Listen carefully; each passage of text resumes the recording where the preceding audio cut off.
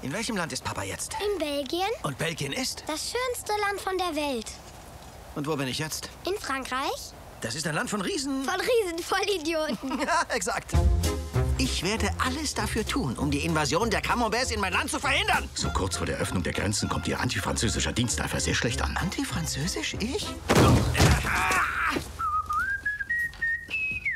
Nein, ich bin der frankophilste Belgier, den es gibt. Ich sag deinem Bruder, er soll sich locker machen. Verzieh dich. Versuch nett zu ihm zu sein. Können wir nicht einmal nett zueinander sein? Nur einmal. Hör ich noch einmal belgischen Akzent bei dir, poliere ich dir die Fresse. Ich schwör's, das war kein belgischer Akzent. Ah, nein? Einmal, einmal. Das wär belgisch. Ich bin eine Wafel, nur eins kann ich besser, das sind Fritten. Du dreckiger Franzacke! Weiß mein Vater Bescheid? Nein. Und mein Bruder? Aber nein. Lieber Gott, mach, dass es nie ein grenzenloses Europa gibt. Niemals! Pardon.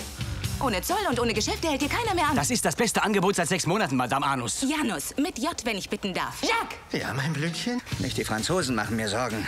Eher die Drogenschmuggler. Zeig mal ein unschuldiges Gesicht. Also bitte, das ist nicht unschuldig, das ist komplett debil. Ich weiß nicht, wie ein unschuldiges Gesicht geht. Ich bin schon von klein auf schuldig. Lass dich nicht erwischen, ja? Das ist besser.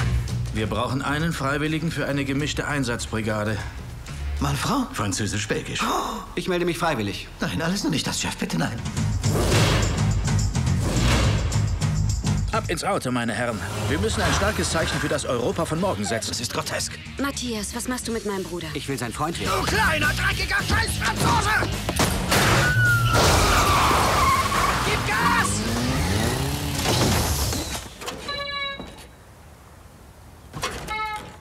Es ist wichtig, dass dieses internationale Experiment ein großer Erfolg wird.